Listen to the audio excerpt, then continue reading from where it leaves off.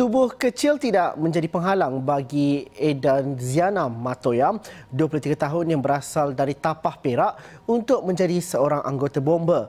Berketurunan orang asli dari suku kaum Semai, Edan Ziana adalah antara 82 anggota baru yang akan memulakan perkhidmatan di Jawatan Bomba dan Penyelamat Malaysia JBPM Kedah bermula esok. Kata Edaziana, dia tidak menyangka akan terpilih menjadi anggota bomba yang akan membantu masyarakat dalam pelbagai tugas yang mencabar. Menurutnya, tugas yang paling mencabar adalah ketika melakukan operasi menyelamat dan jika mental tidak kuat, mungkin akan mengakibatkan tekanan selain kursus asas di pusat latihan sebelum ini.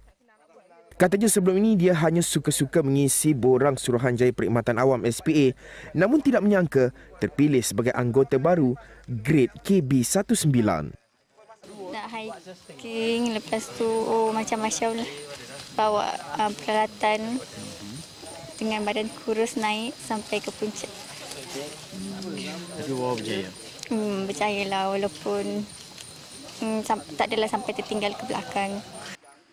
Bagi seorang lagi pelatih Muhammad Irfan Zakian 20 tahun, dia menjadikan Allahyarham Muhammad Adib Kasim yang meninggal dunia dalam kejadian di sebuah kuil di Subang Jaya Selangor 2 tahun lalu sebagai idolanya.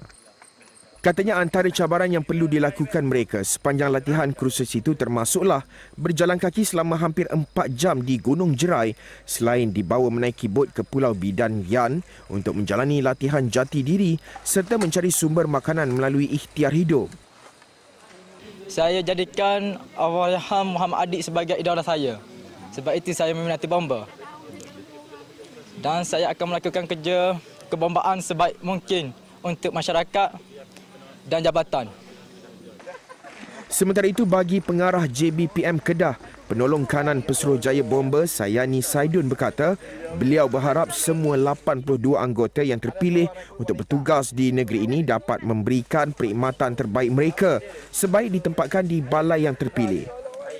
Di mana modul ni kita terapkan dengan unsur-unsur apa ni keagamaan sasiah juga dari segi uh, latihan dalam bentuk lasak semua lah ya dari persiapan untuk uh, mereka ni ber, dalam, ber, terlibat dalam kejaya bomba sebenarnya. So antara pengisian-pengisian tu um, uh, di samping uh, aktiviti persediaan mental dan juga fizikal mereka Uh, itu yang kita serapkan uh, supaya mereka ni bersedia untuk masuk ke dunia pekerjaan kebombaan yang sebenar.